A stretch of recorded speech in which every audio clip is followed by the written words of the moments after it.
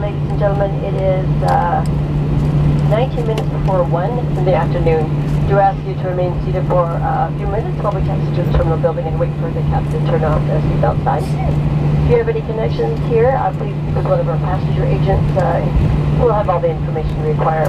It is not permitted to smoke until well inside the designated smoking area. However, you may now use your cell telephone.